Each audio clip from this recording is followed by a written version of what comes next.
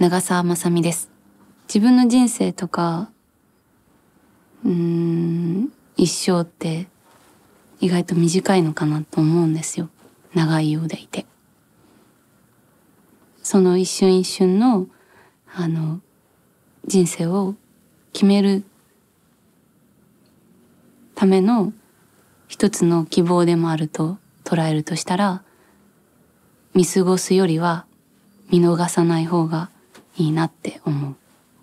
夢や希望、愛を持っていきたいなと思った時に、こんな風になればいいんじゃないか？っていう一つの提案なんじゃないかと。なんだろう、人を責めない世の中が広がればいいなって思いますよね。うん。